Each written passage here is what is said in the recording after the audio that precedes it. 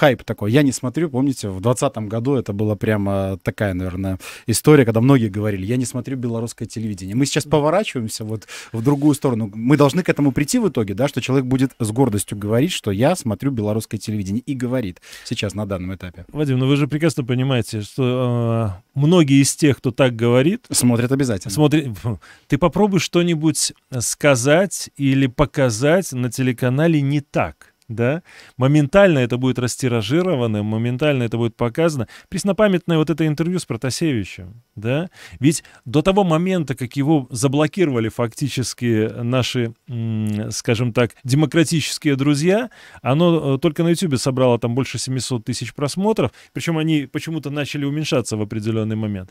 А буквально за несколько дней общий охват составил там 3,5 миллиона человек. Это те, которые не смотрят совершенно не смотрят.